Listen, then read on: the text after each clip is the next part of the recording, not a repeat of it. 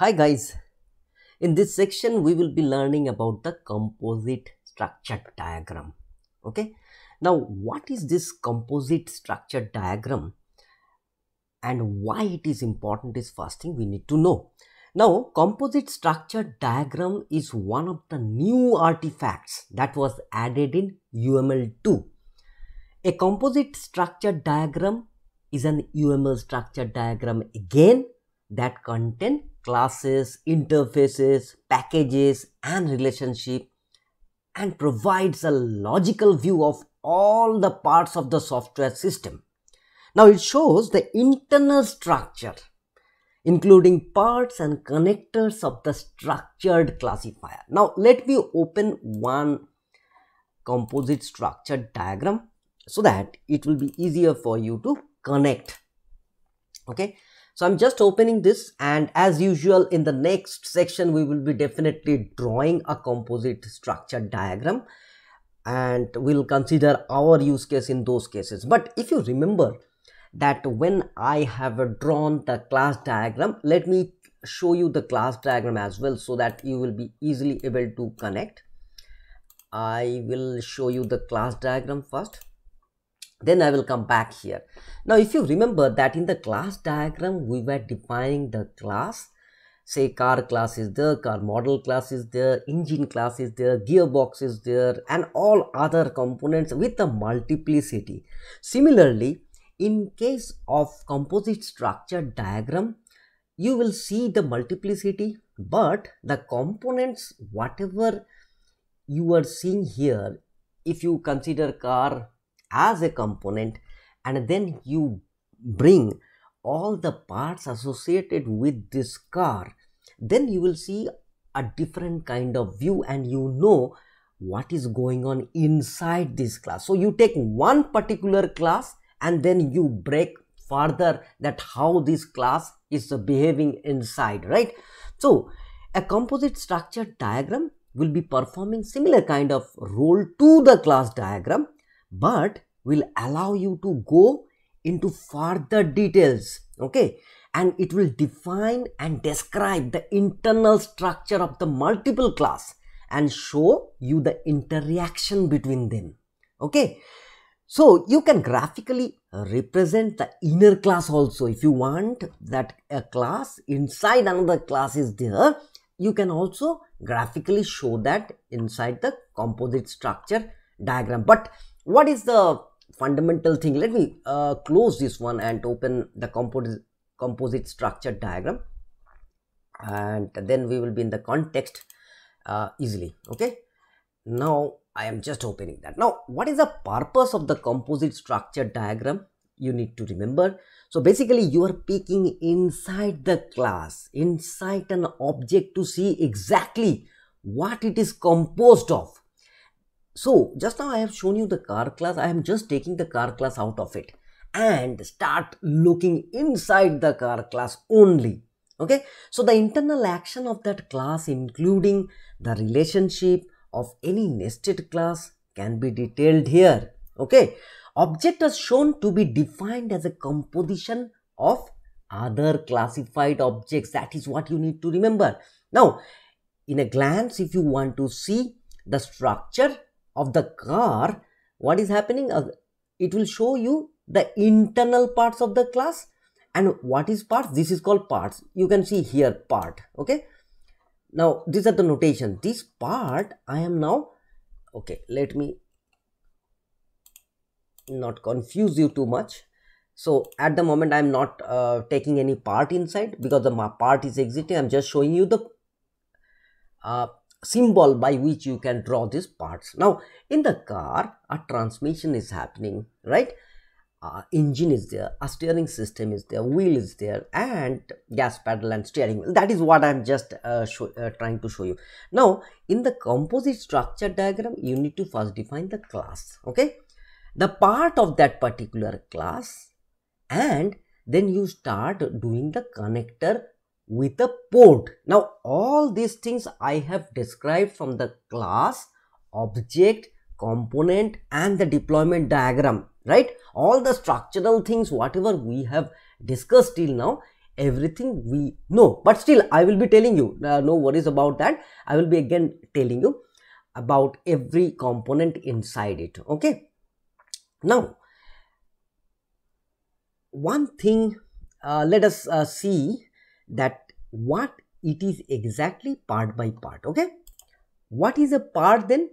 Now these are the components of members that together make up a class or a component. So this transmission and engine together makes up a class. Here comes a collaboration concept also okay? I will talk about collaboration. But before that this is what you need to remember. Now what are the ports? You know already what are the ports.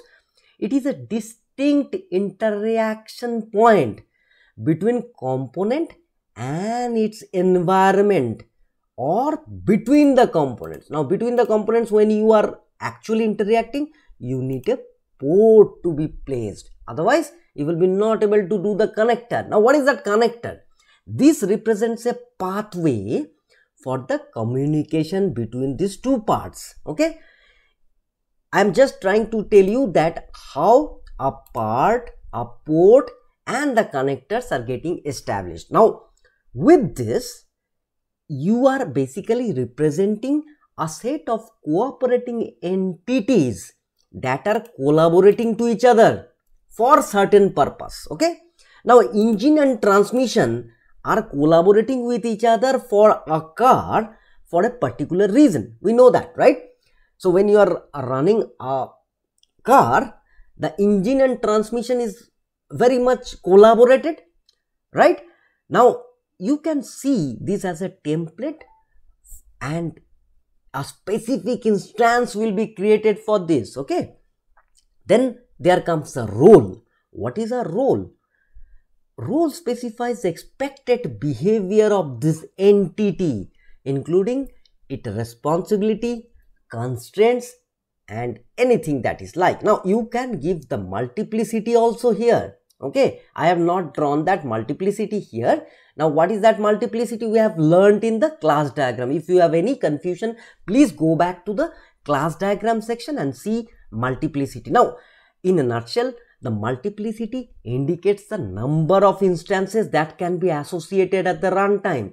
For example, in our case study, what we did, say a student can have one profile multiplicity equal to 1, but can have multiple enrollments, which means 0 star dot dot star is what you can write. In this particular case, if you have a transmission, so engine has a multiplicity of what?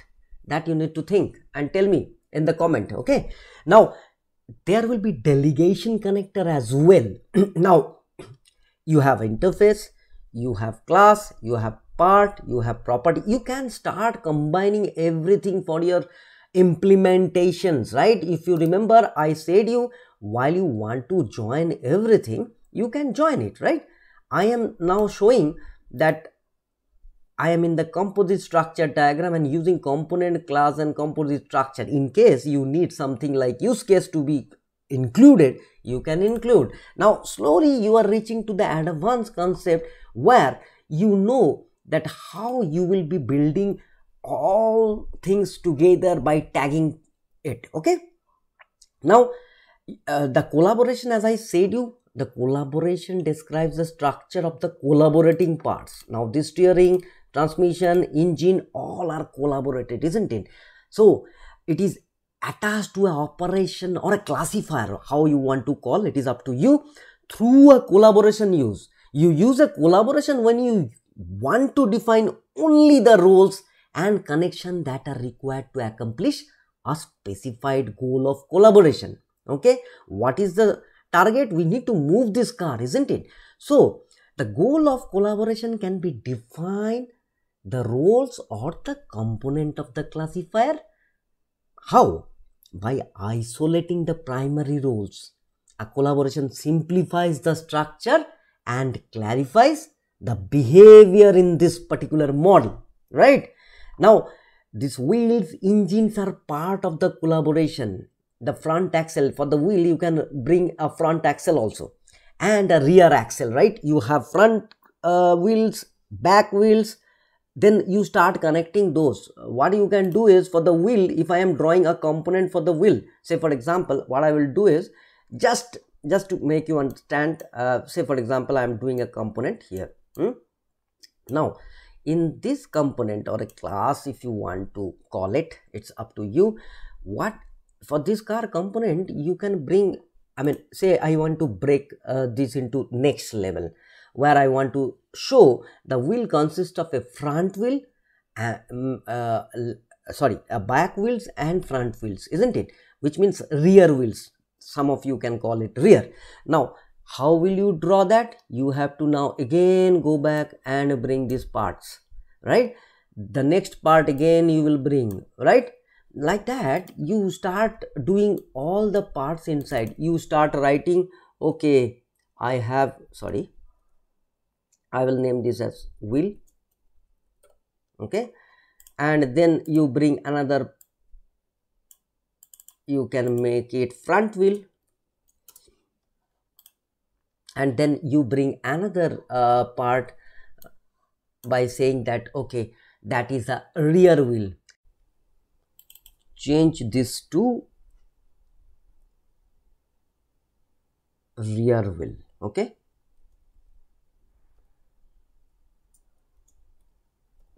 Once you change this to rear wheel now you know that it is not just one wheel that will have in a car right? There will be four wheels in the car component isn't it? So for four wheels what you have to do? Again you have to bring the part. Now this is a little slow but it's okay. So you will write that this is the left front wheel. You can also bring another part and say that this is a right rear wheel. Sorry left rear wheel. Okay? So in that case this should be right rear wheel. Okay?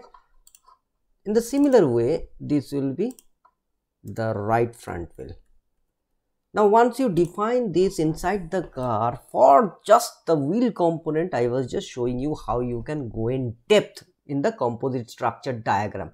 Now what you do is then you start establishing with the connector what how they are connecting to each other. So what you will do you will again create some connectors and then relate those just uh, this is not required okay now apart from this connector you have associations you have role binding means how they are dependent on each other. Those sort of things the dependencies are there okay? Generalization everything what you have seen in the component diagram can be taken into consideration over here.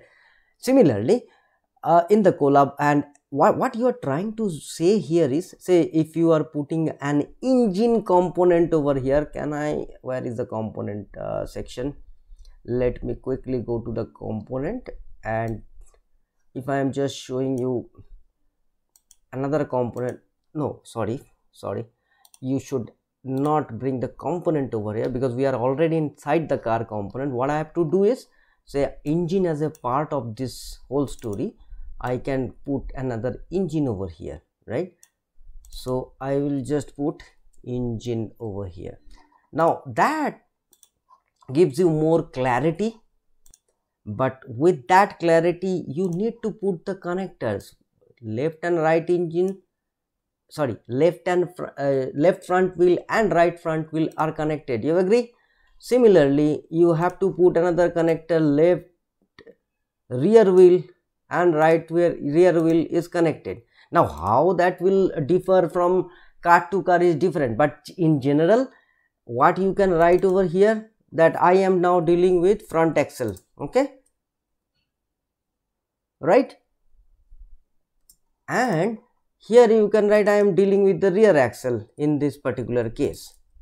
Now how this is uh, totally different from what we have seen in other diagrams you can imagine. Because these parts uh, when when you start drawing these parts this it represents an element. I mean, which is a set of one or more instances and it is a classifier of its own right? Now a part describes the role of the instance of this particular thing right? Wheel we were seeing here as a connected to the whole car and now that we are going to the uh, lower part. Now i can tell this easily as wheel rather than saying car component right? So a wheel component you are breaking. So how much you can go deep inside you can go. Now whether you want to connect through a port or not that is completely your decision right? Now apart from that you can bring interface you can bring connectors you can bring bring um, i mean um, whatever you see in the left hand side can be used in your uh, composite structure diagram right? So in a nutshell you can tell that a composite structure diagram allows all the users to see exactly what is content within an object. If wheel is an object or a class from which an object has been derived and then you are breaking that object into smaller units then you know what exactly it is containing. And you will be able to specify how different properties are fitting together. Right in this case right front wheel left front wheel. This was not visible in our class diagram isn't it? I have shown you a class car diagram but that was not visible there. Now the different relationship within a complex software system can be difficult to understand isn't it? But if you start decomposing the whole system functionality which will give you a valuable insight to go very deep inside that. So Basically, if you have to say what are the benefits of composite diagram, you need to remember that you will be talking about it is helping to understand the current state of the system. It will be breaking down the internal structure of multiple classes, interfaces or components and their interactions, right? And apart from that, you can get the detailed runtime architecture, the usage pattern. It will also provide you information how to optimize and troubleshoot tomorrow if this system goes to production and later you have to troubleshoot because there is a performance problem how will you solve it? You will come to the composite structure diagram and see how the components are internally working. So that is what you need to remember and in the next section what we will do is we will draw our course student instructor composite diagram. I mean most of the things has been covered over here but just to do more hands-on. The more you do hands-on on this kind of things especially when you are learning uml you will be more i mean you will be acquiring more skills to do this right? As a business analyst as an architect you need to know this. While you are designing the system while you are writing system it's much more relevant okay? So i will see you in the next but remember the difference between the composite structure diagram and the class diagram. And try to revisit the class diagram if you have any uh, doubt in this okay so in the next section, we will learn how to make again the composite structure diagram for our case study. It may be very simple, but still you just need to remember that the steps what you will be doing while drawing the composite structure diagram. Thanks guys. See you in the next one.